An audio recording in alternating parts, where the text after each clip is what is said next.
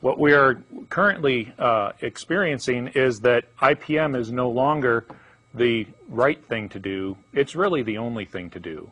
And Keith is going to discuss with us the steps in the IPM program, and um, I'll turn it over to you, Keith. Thank you, Phil. Uh, as, as Phil has mentioned, there's a lot of reasons why we would be interested in looking at a better way, a more efficient way, a more effective way to deal with fly problems. We're going to uh, outline in our presentations today the integrated approach. Integrated pest management combines a number of different uh, tactics and, uh, and steps to try and head the problem off before it becomes an issue or if it is a problem, then what are the management options that we have available to us to mitigate those, those uh, problems. The graph that we have here kind of outlines steps of pest management and thinking as a manager, you can kind of uh, look at the different places where you could step in to, to help avoid or reduce this fly problem. Also thinking about these uh, management steps, they can really be applied to any system that you have, whether it's weeds in your in your lawn, uh, fleas on your dog, diseases on uh, corn or potatoes or whatever it might be, the steps that we would follow would be very similar, just some of those names certainly would be changed. We start off with a program like we have today in preparation. What do you need to know? What are the key characters in your area? What are uh, some of the resources that you might have available? How do you go about doing things to, uh, to find these problems uh, or to anticipate that they're going to occur.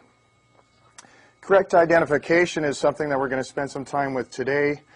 Correct identification is essential. If you know what you're dealing with, then you can uh, deal with it effectively. Misidentification can lead to mismanagement. Sampling uh, there are a number of areas where uh, people have researched what's the best way to find these things and to find them ahead of time from when they were going to cause economic problems. We'll talk about some of those methods. How do you look for them? Uh, where, do you, where do you look for them? The analysis portion is going to include some information on guidelines. One or so of these uh, pests might not be an issue, but in some situations, uh, you'll need quite a few more. How do you uh, know what is that problem area? And then we'll talk uh, quite a bit about management alternatives. And really the integrated approach would look at the, the diversity of different alternatives that we have, thinking about what that particular farm is best suited uh, as far as management or their, their possibilities. What are the things that we can uh, uh, bring together to make a locally adapted program? all of these steps, as you can see, kind of build on each other. And once you have an information that says now is a problem time, doing your activities on a timely manner, the implementation is critical. The last thing that we're going to talk about today is uh, reevaluating. How do you know that it's worked? What can you improve? What isn't working? And uh, we'll, we'll talk about that and what it, uh, uh bringing the whole program together. So as we've, as we've talked about uh, these steps, let's bring them back to dairy flies on the farm. And as Don has already mentioned, uh, there are a number of different potential pest problems that we can anticipate on a dairy farm. There are uh, pasture pests, insects that are going to be found out on the pasture, and uh, their biology is that much different from the ones that we're going to talk about today in confinement areas and barns that that's really a whole separate issue. But we're going to concentrate on the ones that we might find in and around the dairy barns. When we're talking about these dairy barn pests, the, the filth fly pests, the important fly species for us are going to be house flies and stable flies. These are the ones that are going to cause annoyance. These are the ones that are going to uh, uh, protect or cause potential problems for the workers and the animals, and we'll get into more detail on those. But we'll also find that there are a number of other insects uh, on the farm, and it's, again, going to be important for the identification of them to know who it is that we're actually dealing with. Some of those other insects include things like blowflies, otherwise known as garbage flies, uh, that are really found outside the barn area. They could be uh, around a dumpster. They could be around a trash area. Moth flies, uh, they were going to be found in around drains and, and love water situations. Flesh flies, another fly that's found on the farm. Rat tail maggots, often found in really soupy conditions around silos and manure uh, bunk silos and such like this. And certainly mosquitoes associated with areas that have a collection of water that can uh, maintain uh, the, the habitat for breeding mosquitoes, and a lot more. If you're interested in what are some of the likely flies that we can find uh, on the farm and, and compare them to the house and stable flies, you can go to our website and there are some nice fact sheets that you can use uh, with pictures to help compare. Let's talk about uh, the two flies that I mentioned, the house flies and stable flies, and we'll get into their biology. And thinking about their biology, it's going to be a really useful bit of information to understand their biology and where they live, what their habitat is, because we're going to use these as a tool to help break up their life cycle, which will in turn lower the amount of fly populations. What we see here is a picture of a housefly, uh, housefly family with the eggs leading, they hatch, then they go through a series of larval stages, the maggot stages, which you see on the, on the bottom left of your screen. As those larvae uh, age, they then will turn into pupae, which are the, uh, the small pill-looking uh, brown-colored structures. Inside those pupae are where the housefly adults are going to, they're going to uh, uh, develop, and then when they are fully developed, they'll emerge as adults, come out, and then begin to breed and, and uh, produce more of their family and their kind. The habitat that you are going to find these in are going to be moist organic matter. So the key here is moist. So uh, you can begin to think about how can I head off these problems, keeping things dry. But you're going to find maggots uh, in uh, soiled bedding, in manure, in spilled feed and silage, in these types of conditions. They're going to be uh, quite, quite good about uh, providing a happy habitat for the flies to develop.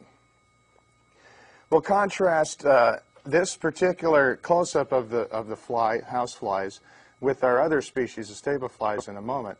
But you can look at the head as being uh, an area where it's kind of a, a blunt face as compared to the stable flies, which you'll see in a moment, that, which have a, a, uh, a piercing, uh, chewing uh, stylet. Let's talk about these, uh, the stable flies. Stable flies, by contrast to house flies, are biting flies. House flies do not bite us, uh, but if you're in a barn or in walking through a barnyard area and you're getting bit by a fly around your ankle, uh, if your animals are stomping their legs, the, the flies that are biting them are these stable flies. For those of us that live in areas close to water, this is another situation. Uh, these, uh, the habitat that we find on barns that are conducive to uh, stable fly population developing, straw, manure, spilled feed, silage, round bales, and such, Seaweed is another area where we can expect to see, uh, uh, and the, the lake weeds, uh, these moist organic matters are, are very uh, good for stable fly development. We mentioned round bales here. Uh, the soil surface interface with the round bale is a really good area for, uh, for fly breeding. Grass clippings of a, of a compost pile that's not properly managed is another area where uh, these stable flies can, can produce. The soil concrete interface found in a lot of our barnyards is another place where organic matter has a tendency to kind of build up, and that moisture area is a good place for the stable flies to breed. We might say that the stable flies have a ten- they have the ability to travel for great distances. So if you're finding them on the farm, uh, it could be that they're coming from another source, but what you want to do is to locate uh, the potential problems that you might see on your own farm. Let's put these uh, two flies head to head, and just for comparison, you can see the differences on their on their heads where the stable fly has that uh, uh, projection there. That is the piercing uh, or, and chewing mouth part, the biting part of that fly. Stable flies are just a little bit smaller than house flies but they can be easily recognized putting them side by side like this. Well, we've gone over the, uh, some of the key factors on biology here. Uh, and we're going to build upon that as, as we think about where are the places that we can break up the uh, fly life cycle. Thank you, Keith. Uh, now that we know how to, to differentiate between the, the housefly and the stable fly, and, and remember that you know there is no such thing as a biting housefly. That they look like a housefly, but that is indeed a stable fly. These are the critters that when you're walking on the beach or around the lakes, they're biting you around your ankles, etc. Now we know how to tell the difference between those. If we could have, well, we got this slide. Let's take a look at the biology of these flies. In this slide, you'll see that the housefly, the life cycle takes, on average, throughout uh, throughout New York State during the summer, about 10 days to go from the egg stage to the adult stage. And I want to point out here, no, we're not. We're, what what I want to point out here is that the the um, the fly once it's an adult fly, it doesn't increase in size at all. So essentially, when the fly emerges from the pupil uh, from its puparium, it essentially is the is the size that it's going to be for the rest of its life. And unfortunately, there's uh, there's some confusion out there that uh, little flies grow up to be big flies, and that's really not the case. The fly is a holometabolous insect. When it emerges as an adult, that's the size that it stays. They live for about 10 to 21 days. Actually, in the colder temperatures, they could live up to 30 days. And as you can see from this slide, they produce tremendous numbers of eggs. A female can produce up to about 600 eggs during her lifetime. In comparing that to the stable fly, Stomoxys calcitrans, that life cycle takes about twice as long, if not three times as long as the housefly. It takes about 21 days, and similar to the housefly, they can live for 22 to 30 days. And their reproductive potential is a little bit less, uh, 200 to 400 eggs per female. When we look at the housefly development, and, and this is really important for you to understand, and it becomes very important when we start talking about control using uh, cultural tactics and manure and sanitation and manure removal. If you look at this slide of the temperatures, at 68 degrees, you see that it takes approximately 18 to 21 days for that fly to go from an egg to an adult. Next slide, please. If we look at 95, just to make that comparison, at 95 degrees, we see that we've actually reduced that time from egg to adult by two-thirds. We're looking at only six to eight days during the warm times of the summer where that fly goes from an egg to an adult. And seven days is something that I want you to continue to keep in mind, and it's something that we're going to talk about a lot more throughout our, our presentation today. When we look at the potential population growth of houseflies, I think this really brings it home as to how many flies one female fly, one female inseminated fly, on June the 1st, if in fact all of her offspring lived throughout the next two months, on August 1st, she will have produced 300 million flies. The reproductive potential of these flies is absolutely astounding. So you can take that number, multiply that by the number of flies that you would have on a farm on June the 1st, and if you just allowed those to go unchecked, you could see the potential problem that you perhaps would have on your farm or the potential problem that you would have in your neighborhood and the neighbor, uh, neighbor conflicts that uh, perhaps could arise out of this. Next slide, please. When we look at where we're going to find these flies, we call these hangouts and hideouts, and we're looking at a number of common fly breeding sites. And what we're trying to do today, or would like to do with you today, is to get you to understand that there are certain of these where it would be really good for you to spend just a little bit of time looking at these. Next slide, please. The common fly breeding sites, the, the place that you definitely need to look at as you're, as you're looking at these on the farm are the calf hutches. The calf hutches are generally those that are going to produce large, large numbers of flies.